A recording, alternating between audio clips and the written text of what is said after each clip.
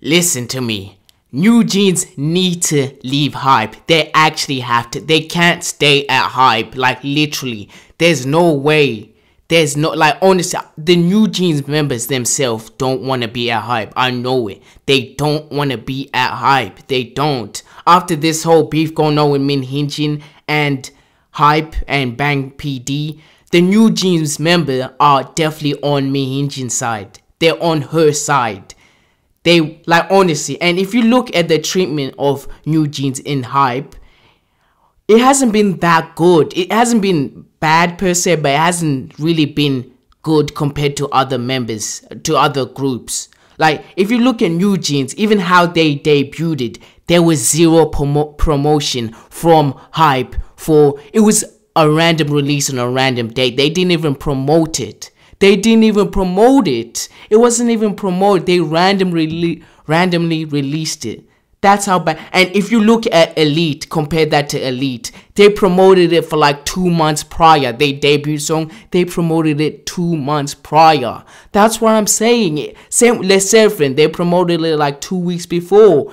Like if you see the treatment of them is like and Bang PD. Apparently there's um rumors going on that when Bang PD like uh meets uh the new jeans member in the like uh in the HYBE building, he doesn't greet them. He ignores them. Apparently he ignores them.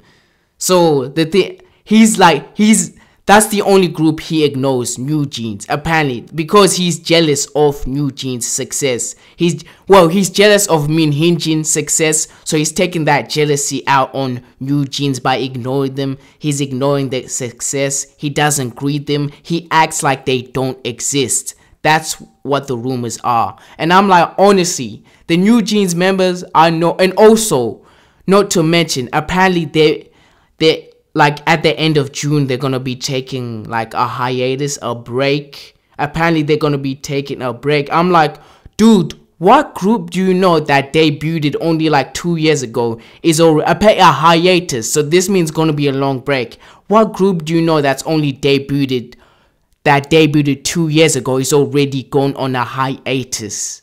Bro, there's serious issues at HYBE with new jeans.